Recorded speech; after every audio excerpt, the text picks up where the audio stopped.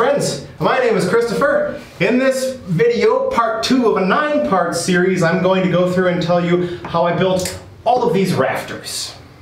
Oh wow, he climbed up into the rafters to film. As I said, this is part two of a nine part build series. They are more in-depth analysis for the separate important tasks for building a shed. There is a feature length build video that you can check out everything else, different footage, different explanations, and a quick four minute time lapse if you're in the mood for something fun. With that, let's begin. So in the last video, we completely finished building the floor, which is nice. We've got this great big surface, so let's use it. So building rafters, all in all, is pretty easy. It's just a lot of repetitive motions. You know what I mean? You have to make sure you get your angles right, but once you make that first cut and you tweak things, then you know what you're doing and you can just repeat the process ad nauseum. And then you cut all these boards and then you cut your gussets, and, which again is tedious. And I personally hate using a, uh, a circular saw, but I got decent at it and it made the process go quickly. And then we set up a template and we nail everything together. So, as you can see, um, I am fortunate enough to have a nice chop saw, and I brought it out in in wonderful weather, and I was cutting away. My roof is a uh, 10 over 12 slope, so I've got uh, 50 degrees, or excuse me, 40 degrees up here, 50 at the bottom to make my 90. Um, is that right? 90, 50, 40. That's right and um, you know you just you make those you make those cuts. Anyways I simply followed the measurements that were laid out for me on my iCreatables template. Not a sponsor of this video. I just really like their stuff. Link in the description if you are shopping for shed plans and you need ideas.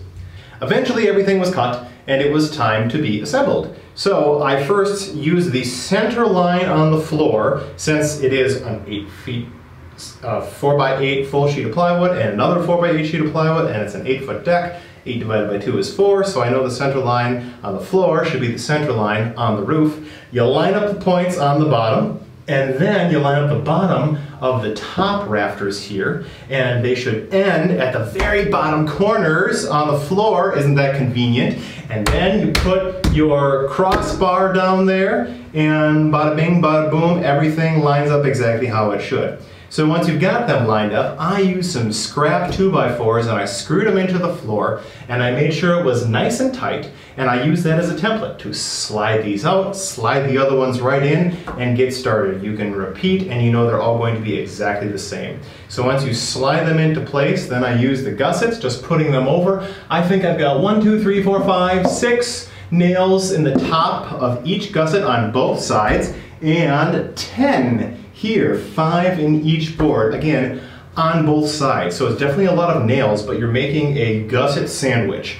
And it does a terrific job holding them all together. As you can see, I hoisted myself up here. I'm six foot five, and this is, you know, seven feet or so up in the air. I'm a 200 pound guy, and this is having no problem holding me, so it's having no problem holding the roof. I feel nice and secure with it.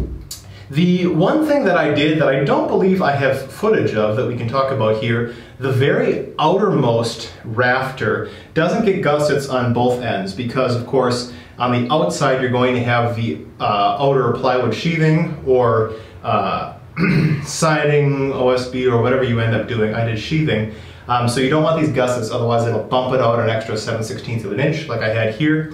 And I added another vertical 2x4 just so that I could screw my plywood or nail my sheathing into something in the center as opposed to having this great big open triangle here with really nothing to hold the plywood. That was important to me. Of course you can add more beams for extra strength if you want.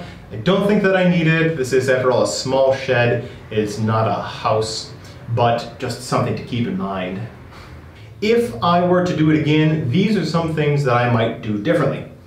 It would have been nice if I would have set up a stop block at the end of my chop saw so that every single cut would have been exactly the same. For me, I have a little bit of a tough time doing angled cuts. I'm just not as familiar with them, so I'm off an eighth of an inch here and there, and not always in the same spot. So these um, crossbars don't go exactly in the same spot as these diagonal bars do for me, which means some of them are slightly higher and slightly smaller than the rest, which has ultimately resulted in the roof kind of being wavy, but it's only an eighth of an inch or so for every 16 inches or 20 inches. I think these are 20, 24 inches. I'm not sure, whatever the plans say.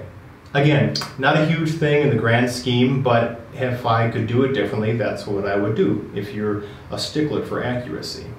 Overall, this is a straightforward process. It's just tedium and a lot of repetitive things to do, um, but it is easy and if you do a good job here and you line things up, you'll have a really nice roof.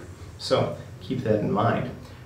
Now that my floor space is free because I've completed all of these rafters, it was time to move on to the four walls here. And hey, wouldn't you know, that's part three of this series. We're going to build the four walls and I'm going to talk through framing a door and framing a windows because those are custom and they weren't involved in the plans that I downloaded. But it was so easy that I could do it and it turned out great so you can do it too.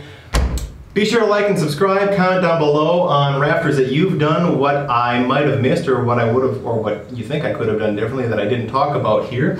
And uh, yeah, thanks for tuning in. We'll see you in the next episode. Take care, guys. Bye.